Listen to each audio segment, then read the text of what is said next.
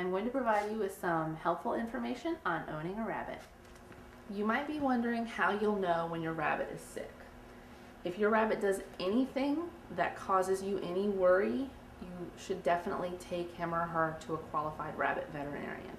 Rabbits will sometimes hide signs of illness until they're feeling very sick. One very important thing is that rabbits should always be eating and always be defecating. They move through large amounts of plant matter, so when they stop eating, they go into something called GI stasis or gastrointestinal stasis. All that plant material that they eat stops moving. It makes gas buildup, which makes the rabbit even more uncomfortable. Um, so it's very, very important if you ever see that your rabbit isn't eating or isn't defecating. Sometimes with cats and dogs, they can feel a little off for a day or so, and dogs might skip a meal, cats might skip a meal.